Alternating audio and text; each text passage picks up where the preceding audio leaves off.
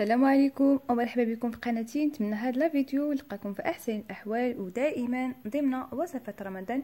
اليوم إن شاء الله غادي نقدم لكم فطائر مالحين وهاد الفطائر من أروع ما يكون.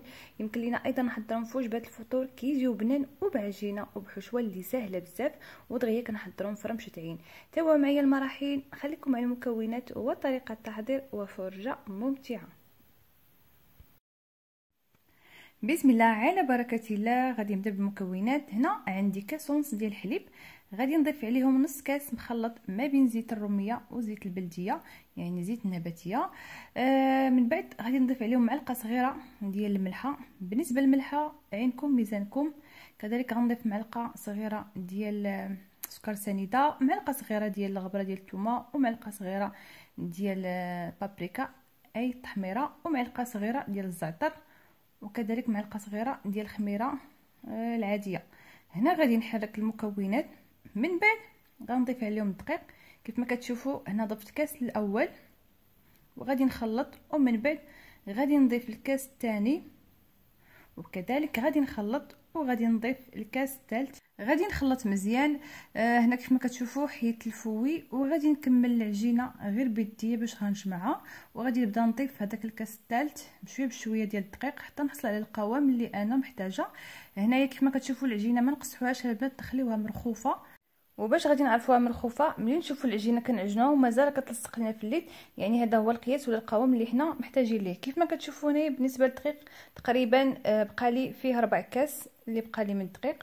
هنا غادي نخليها ترتاح تقريبا نص ساعة ومن بعد ندوز باش نحضروا الحشوة اللي غادي ندير في هذه الفطائر. هنا كيف ما كتشوفوا معايا خديت مقلاه وضعت فيها زيت الزيتون يعني غير القياس ووضعت فيها بصلة كبيرة مقطعة مربعات صغار.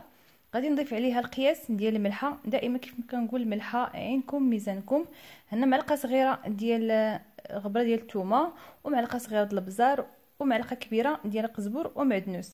غادي نخلط البصلة مزيان. بالنسبة للبصلة البنات ما تشحروهاش بزاف يعني غير ضربها شوية ديال الصاد وتدخل فيها العطريه من بعد نطفيو عليها ونخليوها على جنب باش تبرد. من بعد باش نضيفوا ليها المكونات اللي باقيين لينا. هنا كيف ما كتشوفوا معايا من بعد ما بردت البصلة غادي نضيف عليها الجبن تقريبا هنا عندي شتا المعالق كبار ديال الجبن ولا ربعة يعني قد ما كان الجبن فيها كتير قد ما كانت الحشوة زوينة وكتجي بنينة. هنا غادي نضيف القياس ديال الزعتر يابس. وغادي نخلط مزيان الحشوة ديالي.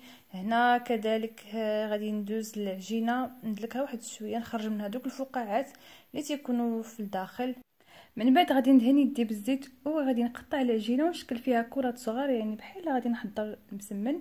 بالنسبة للكرات ما تكبرهمش حاولوا تصغروهم علاش حيت العجينة فيها الخميرة واللحظة اللي غندخلهم الفرن يعني غادي تضاعف الحجم ديالهم لذلك ضروري نصغروهم البنات.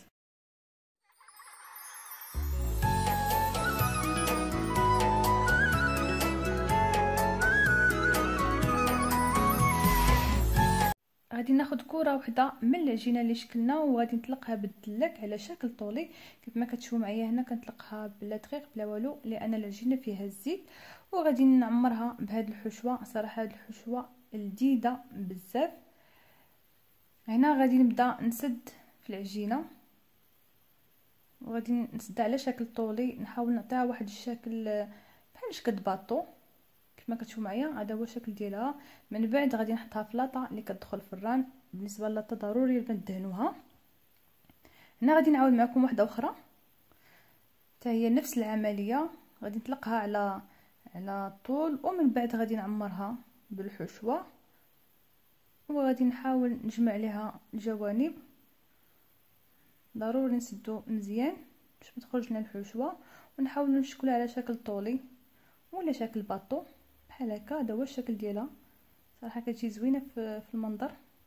غادي نبقى مستمرة بنفس الطريقة. حتى نسالي كره العجينه اللي عندي ومن بعد باش ندهنوهم بالبيض.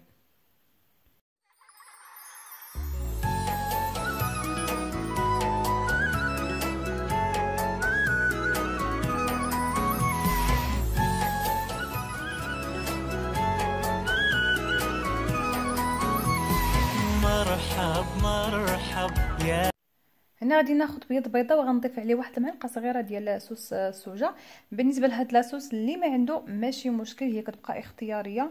آه اللي ما عنده يقدر يعوضها بالخرقوم بلدي يدير معلقة صغيرة ديال الخرقوم بلدي ويضيف عليها قطرات ديال الخل ولا قطرات الحمض ويخلط مزيان ومن بعد يدهن بهم هاد الفطائر. أنا هنا غادي ندهن الفطائر ديالي ومن بعد غادي نرش عليهم الزنجلان وغادي ندخلهم الفران. آه الفران شعلته على النار آه هادئة. ما تكونش بات مجهدة. الفران تكون يعني نار هادئة باش يطيب لنا من الداخل. وهذا هو الشكل النهائي ديال الفطائر. والله يا البنات واحد الريحة طالعة منهم وحنا صايمين. شحال زوينة ولذيذة صراحة. كيشهيو. غير جربوهم راهم لذاذ. وحتى المكونات ديالهم ساهلين بزاف. هنا غادي نقرب معكم الكاميرا. وغادي نقطع معكم وحدة باش تشوفوا كيفاش كيجيو من الداخل. شوفوا شوفوا يا البنات شحال مفشفشين وشحال طبين وخاويين من الداخل وريحتهم. يا سلام! كنتمنى يعجبكم الاقتراح اليوم واللي عجبو. ما تنساوش الضغط على زر الإعجاب والاشتراك في القناة مع تفعيل الجرس ليصلكم كل ما هو جديد أستودعكم الله الذي لا تضيع ودائعه.